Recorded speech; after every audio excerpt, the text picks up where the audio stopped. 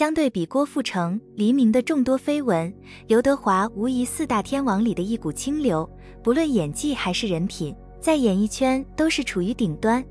虽然刘德华的绯闻相对较少，但也有年少轻狂之时。这样一个富有魅力的天王，背后自然也少不了绝色女子。这些女子中，除了陪伴他半生的女人朱丽倩是他的一生挚爱，还有几人或多或少都对他有过深刻影响。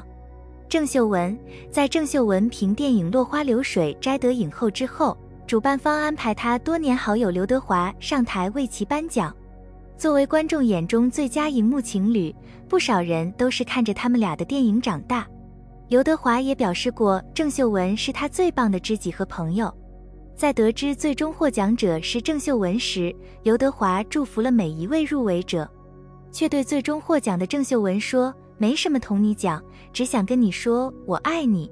或许在外人听起来很荒谬的话，却已经成为了他们相处的习惯。这是刘德华的真情流露，也是他对好友郑秀文最好的鼓励。两个人相伴二十多年的友谊，早就超越了爱情和亲情。在两个人共同努力的那段时间里，刘德华和郑秀文一直是互相陪伴。如今历经沧桑，郑秀文心愿终于达成。他也收获了无数的安慰，唯有刘德华的这一句“我爱你”胜过千言万语。相比刘德华一路走来的功成名，郑秀文一路爬到今天影后的这个位置，充满了心酸。而这样的心酸，或许只有好友刘德华亲身体会过。他陪伴着他，一同在懵懂的时光里打拼。刘德华也懂他的坚持和艰难。也因此，没有人比刘德华更懂郑秀文获得这份嘉奖时的激动。而郑文秀也是刘德华唯一想要越轨的女人，他们两人之间早已经超越了爱情。在相伴的二十多年时间里，刘德华和郑秀文一起合作了十部戏，而其中有八部都在演情侣。在他们的陪伴下，不少的观众经历了香港爱情从繁荣到衰败的整个过程，也见证了他们的友谊越来越深厚。这种跨越性别的友情，胜过任何一段爱情。梅艳芳，一代天后梅艳芳是和刘德华暧昧多年的红颜知己。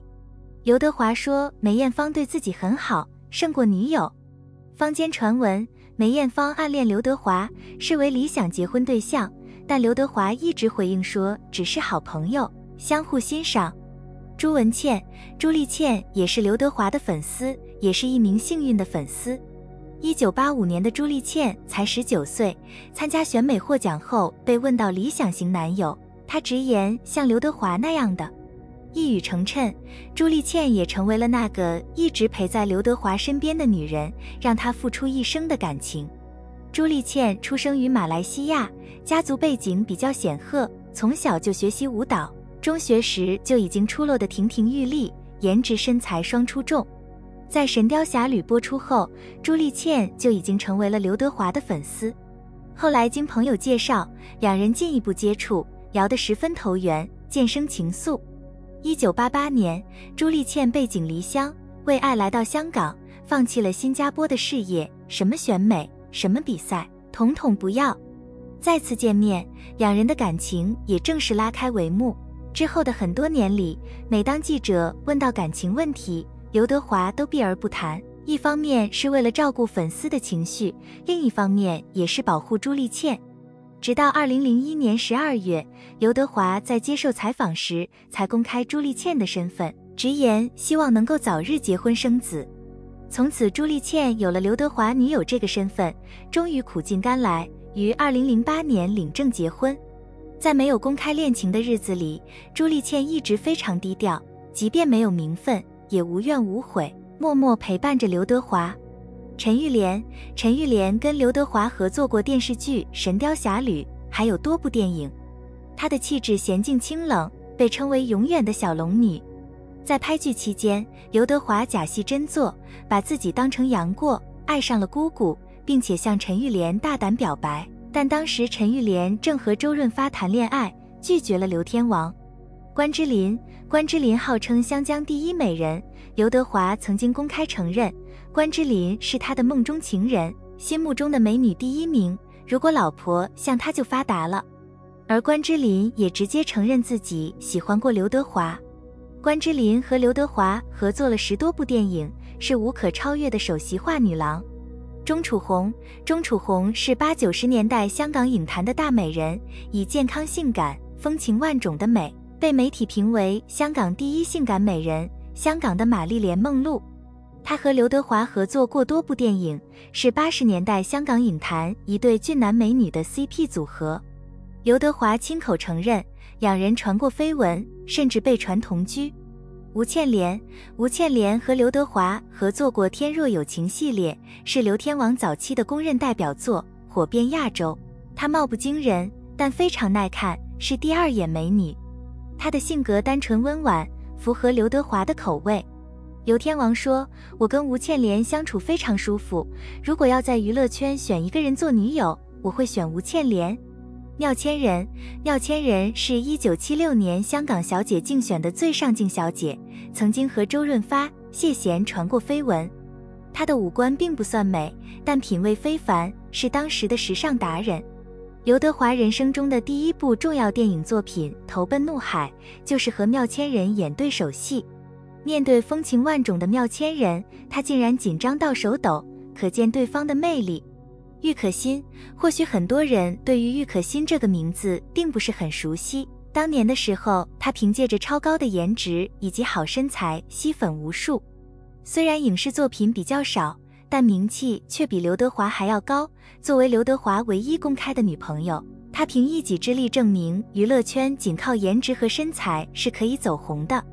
刘德华和郁可欣两人一见钟情，仅相识四天就去酒店进行了深入交流。相识六天，刘德华就和好友高调官宣脱单。虽然郁可欣才十八岁，但在台湾已经非常火了。而刘德华还是个跑龙套的，身份的不对等让大多数不看好这段感情。为了这段感情，郁可欣放弃了在台湾的大好前途，只身前往香港。在香港，郁可欣只是一个新人，因为爱情，事业并没有发展起来。相反，回来后的刘德华因为《神雕侠侣》大火，名气越来越大，与郁可欣的身份完全对调。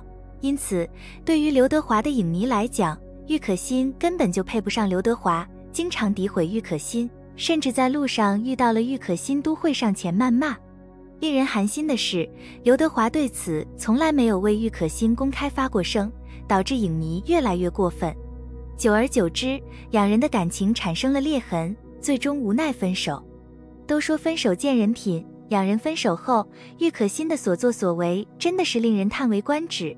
不仅频繁在媒体面前提及和刘德华的旧事，而且言辞和行为还愈发露骨。一九九九年，郁可欣拍摄私房写真，通过香港记者送给了刘德华。二零零三年，郁可欣在采访中大谈自己与刘德华的房事，用词毫不避讳。二零零五年，郁可欣出版《情海星空：我与刘德华》这本书，讲述了她与刘德华轰轰烈烈的爱情故事，更是露骨地赞扬了刘德华在房事上的功夫，将两人的隐私抖擞殆尽。对此，刘德华只用了八个字进行回应：一念天堂，一念地狱。自此，俩人彻底走向末路，郁可欣也成了刘德华最不愿提及的一个女人，仿佛那是一段耻辱的过往。赖文慧，赖文慧也是刘德华的粉丝。赖文慧为了追星，不断提升自己，立志成为刘德华的舞伴。成为刘德华舞伴时，赖文慧才十六岁。别看年龄小，业务能力都能让刘德华刮目相看。赖文慧知道能够留在刘德华身边跳舞不容易，为了不拖后腿，全部的精力都用在了工作上。因为这份努力。她换来了更多和刘德华同台的机会，成为了刘德华的御用舞伴，成为了站在刘德华身边的女人。曾经有人问赖文慧是不是爱上刘德华了，赖文慧直言：“谁又不爱刘德华呢？当然了，这份爱是理智又克制的。”赖文慧曾说过：“只想和刘德华保持在一个舒适又安全的距离，是一个不会对刘德华造成压力的距离。”在舞台上，刘德华和赖文慧亲密无间；而在舞台下，他们又保持着男女之间该有的距离，互相尊重。当然了，赖文慧也做到了，在陪伴刘德华多年的同时，也看着他娶妻生女，完成了人生中的一件又一件大事。